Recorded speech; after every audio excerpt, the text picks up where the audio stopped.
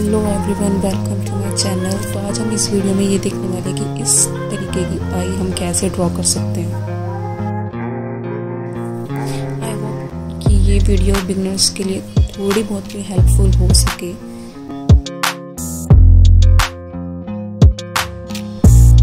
तो सबसे पहले मैं आउटलाइन ड्रॉ कर लूँगी। आप कैसे भी आउटलाइन ड्रॉ कर सकते हैं। मतलब फ्री हैंड ग्रेड मेथड का भी आप लोग यूज़ कर सकते हैं।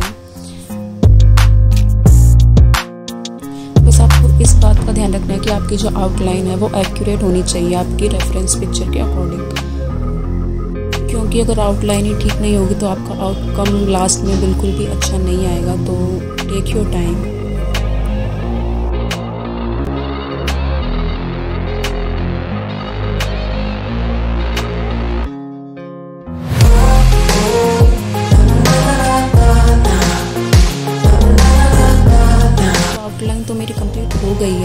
इसमें शेड करना स्टार्ट करते हैं तो सबसे पहले जो आई का जो डार्क एरिया है, मैं वो मार्क कर लेती हूँ ताकि आगे प्रॉब्लम ना हो।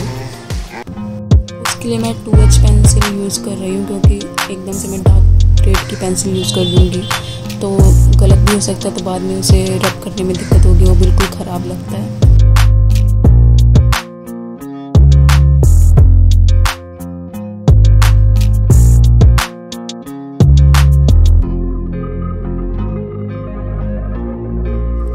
बेस लेयर के लिए मैं टू एच पेंसिल का यूज़ कर रही हूँ। और उसको अच्छे से ब्लेंड कर लूँगी। ब्लेंडिंग बहुत ज़रूरी है। रियलिस्टिक ड्रॉ करने के लिए मैं हमेशा लाइट टू डार्क ही शेड करती हूँ। जैसे पहले टू एच उसके बाद एच फिर टू बी थ्री बी हर लेयर ऐड करने के बाद उसको ब्लेंड करना बहुत ज़रूरी है। ब्लेंडिंग के लिए मैं मेकअप ब्रश यूज़ कर रही हूँ। नॉर्मल मेकअप ब्रश हैं जो लोकल मार्केट में मिल जाएँगे आपको बहुत ही ईजिली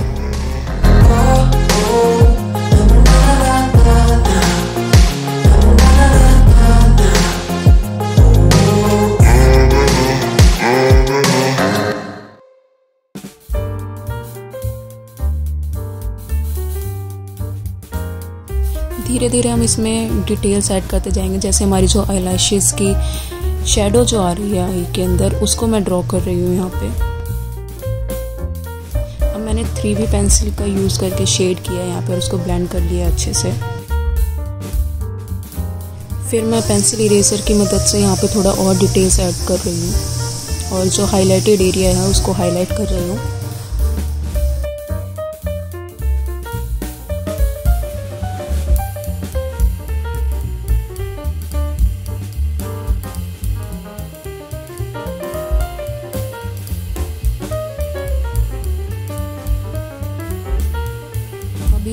लैशेस की शेडो ड्रॉ की थी, उसको हम थोड़ा डार्क कर लेंगे ताकि वो अच्छे से विजिबल हो।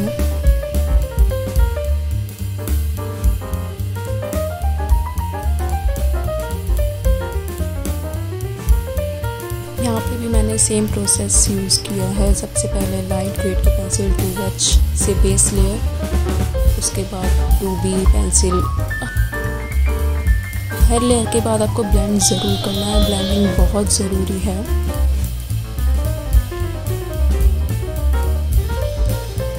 रियलिस्टिक ड्रॉ करना इतना भी मुश्किल नहीं है, बस आपको पेशेंस रखना है और डेली कुछ ना कुछ प्रैक्टिस करते जाना है ताकि आपकी इम्प्रूवमेंट होती रहे।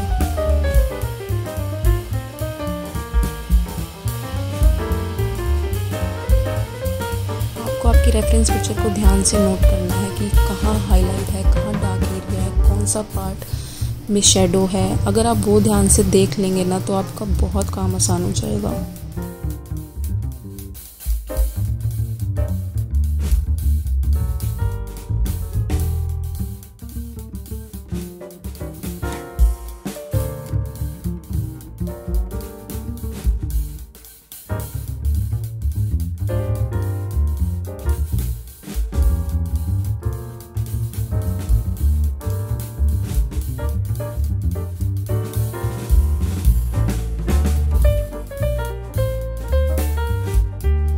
अगर आप चाहते हो कि आपकी ड्राइंग बेटर हो जाए शेडिंग बेटर हो जाए, आपकी आउटलाइन बनाना कैसे मतलब वो सब बेटर हो जाए तो आपको प्रैक्टिस करना बहुत ज़रूरी है।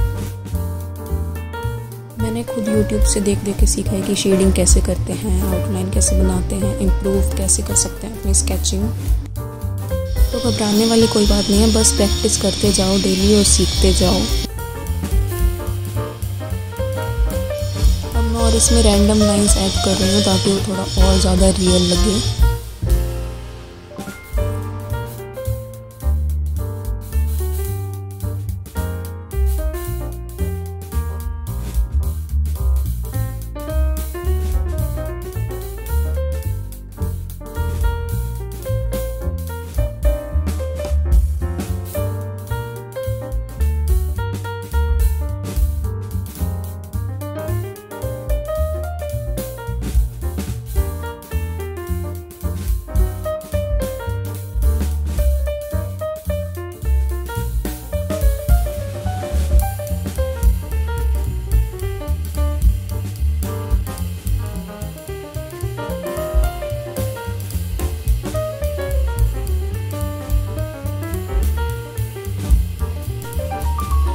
ये जो छोटे छोटे पार्ट्स जो हाईलाइट होते हैं आइज़ में, उसके लिए मैं सकुरा का वाइट जेल पेन यूज़ कर रही हूँ।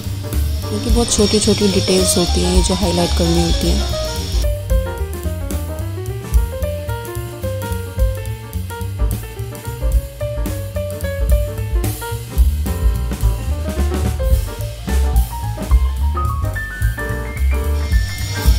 अब आई बिल्कुल आपको स्लोली ड्रॉ करनी है, बिल्कुल धीरे धीरे एकदम फ्लो में।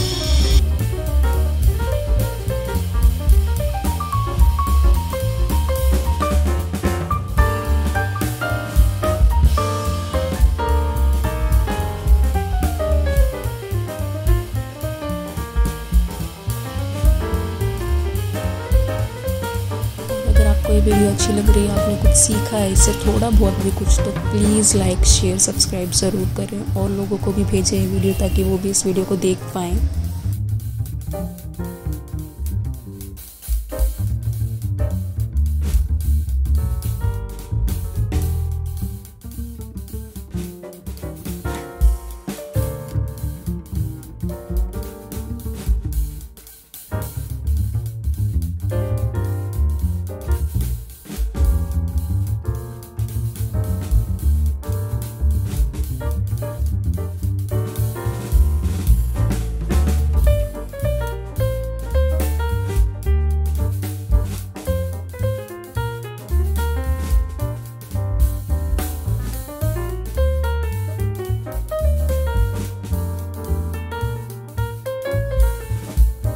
बड़े एरिया पे मैं ब्लेंडिंग के लिए टिश्यू पेपर ही यूज़ करती हूँ क्योंकि उससे काफ़ी स्मूथली ब्लेंडिंग हो जाती है। छोटे एरियाज़ के लिए मैं ब्रश ही यूज़ करती हूँ, वो काफ़ी सही रहता है।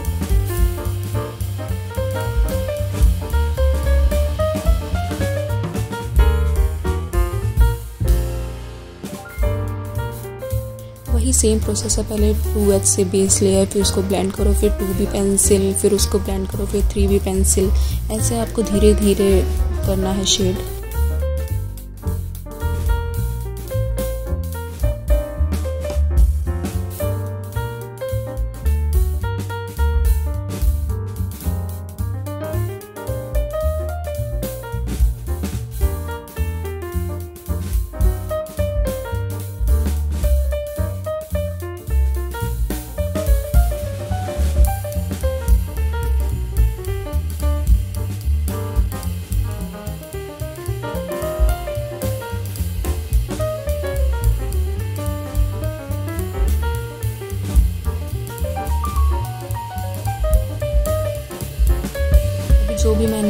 प्रोडक्ट इस स्केच के लिए यूज़ किया उसकी लिस्ट मैं आपको डिस्क्रिप्शन बॉक्स में डाल दूँगी, आप वहाँ से चेकआउट कर सकते हैं।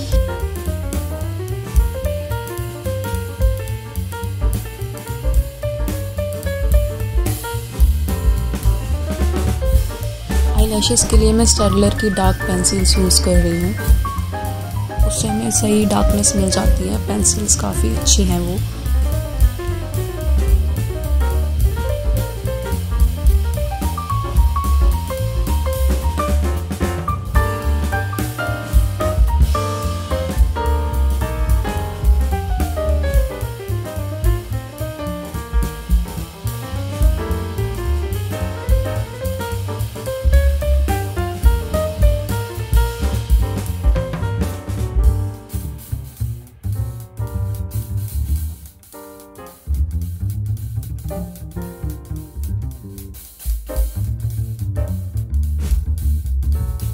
जो आईब्रो है, उसको बनाते वक्त भी आपको ध्यान रखना है कि जो हेयर्स की डायरेक्शन है, वो कभी भी एक ही साइड नहीं होती। आपको रेफरेंस पिक्चर ध्यान से देखनी है कि किस डायरेक्शन में हेयर स्टैंड्स हैं।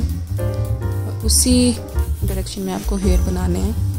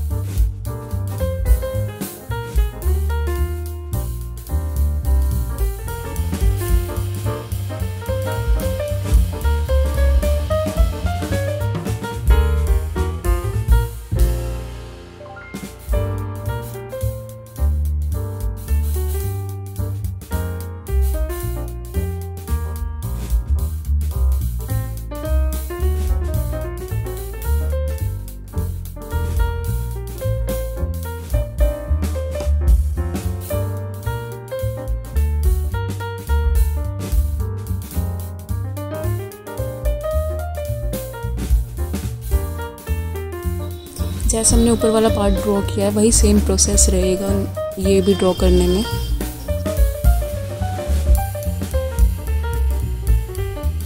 ब्लेंडिंग करते वक्त आपको एक बात को और ध्यान रखना है, जैसे टिश्यू पेपर से आप ब्लेंड कर रहे हो तो ज़्यादा पावर यूज़ नहीं करना, बिल्कुल हल्के हाथ से आपको उसको ब्लेंड करना ताकि पैचेस ना पड़े उसके ऊपर।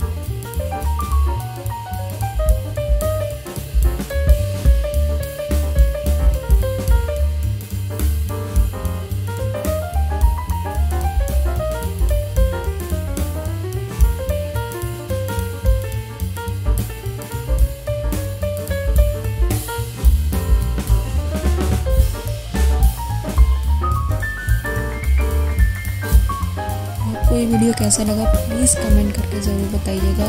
अगर आपको अच्छा लगा तो प्लीज़ लाइक शेयर सब्सक्राइब ज़रूर कर दें इस चैनल को।